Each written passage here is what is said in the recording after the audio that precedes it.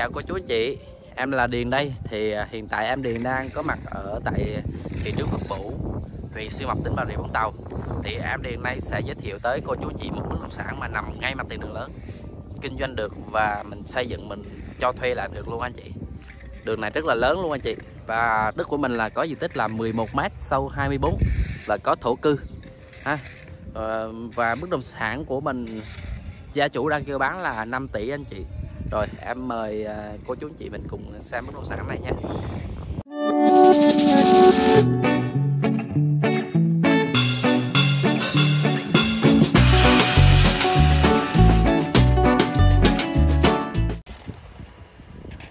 Ôi, trước mặt cô chú anh chị mình đây là mặt tiền đường nhựa rộng là khoảng là 12 mét lần anh chị.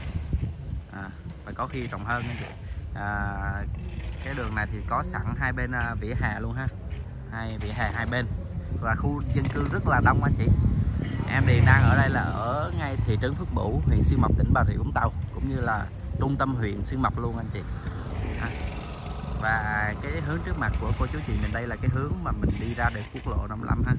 Mình đi thẳng luôn là ra được quốc lộ 55 tầm khoảng ờ, uh, 200 mét thôi.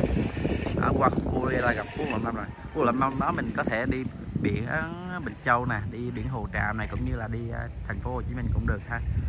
Và mình ra bên đây trái đây là mình à, có cái ngay trường học này. Đó cái bên có một trường học ha.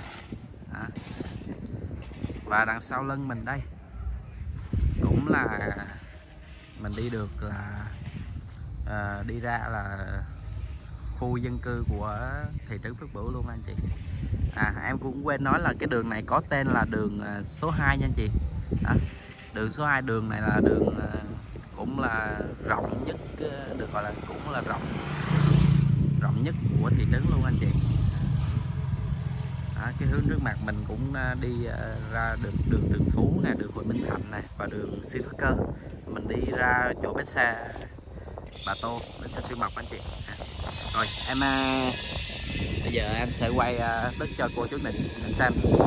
Đây đất mình thì có tiền của mình á là 11 mét anh chị. Đây, 11 mét là từ ngay chỗ hàng rào này ha. Và qua bên chỗ đây cái bạn đang ngồi đây ha. Sâu là sâu 24 anh chị. Và em cũng nói luôn là sâu một bên là bên này dài nhất là 24 và bên này mà dài nhất là 18 mét rưỡi anh chị. Và đất mình là có sẵn là 25 mét thổ cư. Đó. và quy hoạch hiện tại của mình là quy hoạch đất ở chị đất ở đô thị nha. anh chị có thể thấy kế bên này này cũng có thể là cho thuê mặt bằng này đó bên này có cắm bảng cho thuê mặt bằng. Cái chỗ này anh chị có thể mua về làm kinh doanh và cũng có thể là xây dựng xây dựng lên và cho thuê lại cũng được ha. Đây, khu dân cư rất là đông anh chị. Điện nước thì bây giờ á khu cái chỗ anh chị mình đây nè bây giờ chỗ khu vực này á thì hiện tại là đang xài là điện ngầm anh chị điện ngầm không có đường dây điện không có ấy gì hết. Đấy, điện đèn đèn điện này Đó. À, giá của bất động sản này thì à, gia chủ mình đang kêu 5 tỷ anh. À, lúc trước em quay thì chỉ có 4 tỷ chín thôi nhưng mà cái đợt sau này á thì à, đường à, cũng mới thông lại á là chủ cũng có lên chút xíu. Nhưng mà giá thì rẻ hơn ờ, so với thị trường hiện bây giờ.